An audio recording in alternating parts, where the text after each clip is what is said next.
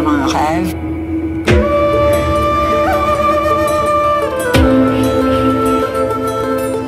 Không ờ, không có cái khu nào ở trên toàn thế giới này là giống như ở cái nước Bolivia ở đây.